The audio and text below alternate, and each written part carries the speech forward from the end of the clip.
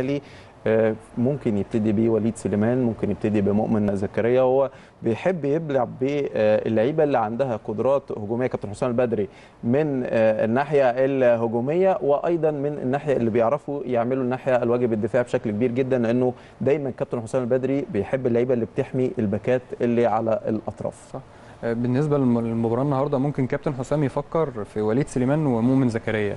ليه؟ لأن كمان الناحية الثانية عند النادي المصري ميزته في الأطراف سواء عبد الله جمعة أو محمد الشامي. والسرعات والاثنين سريعين. الاثنين. سريعين جدا والاثنين ممتازين جدا من أفضل الأجنحة في الدوري المصري سواء عبد الله جمعة أو محمد الشامي. فطبعا أعتقد إن كابتن حسام هيفضل وليد سليمان خاصة بعد الحالة اللي إحنا شفناها عليه في في مباراة سموحة يمكن لو عرضنا أرقامه هتلاقي وليد. سليمان. وليد سليمان. آه نعم. وليد سليمان. عنده ميزة في القدرات الدفاعية.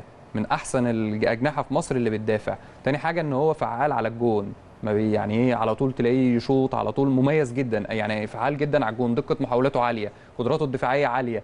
تحس إن هو فعال مش بتاع إن هو بيرقص بقى أو كده أو الكرة معدل فقد الكرة بتاعه عالي. لأ.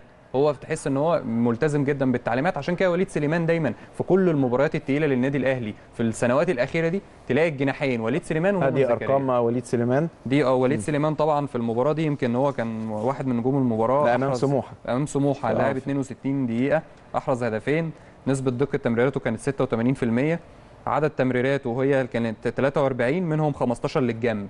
فده بيأكد إن هو لما بيعمل تمريرات للجنب بيسمح كتير إن هو بيعمل الأوفرلاب لعلي معلول دايما من وراه. دي يمكن كانت من أهم الملحوظات في المباراة سموحة. بالنسبة لقطع الكورة قطع الكورة ست مرات ده اللي كنت بقول عليه لحضرتك معدل قدراته الدفاعية عالية جدا.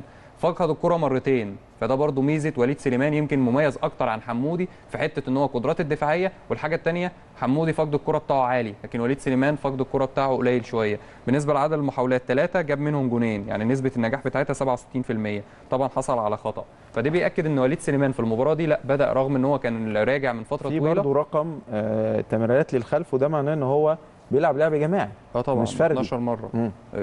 لعيب جماعي جدا ولعيب يعني إيه زي ما قلت لحضرتك بدليل إن هي الجماعية إن معدل فقد الكرة بتاعه مرتين بس فده بيأكد إن وليد لا لاعب منتج ودايما المباريات الصعبة على النادي الأهلي في السنوات في السنتين الأخر هتبص تلاقي لفيت مثلا لعبت حمودي لعبت الشيخ لعبت أي حد هتبص تلاقي في الآخر وليد سليمان ومؤمن زكريا طيب أحمد فاروق آه، آه، يعني الجماعية والتكتيكية وكل إمكانيات وليد سليمان حتى في ال- اللقاء ال- الأخير قبل سموحة كنت اتكلمت معاك هل من الوارد إن وليد سليمان بقدراته آه، ممكن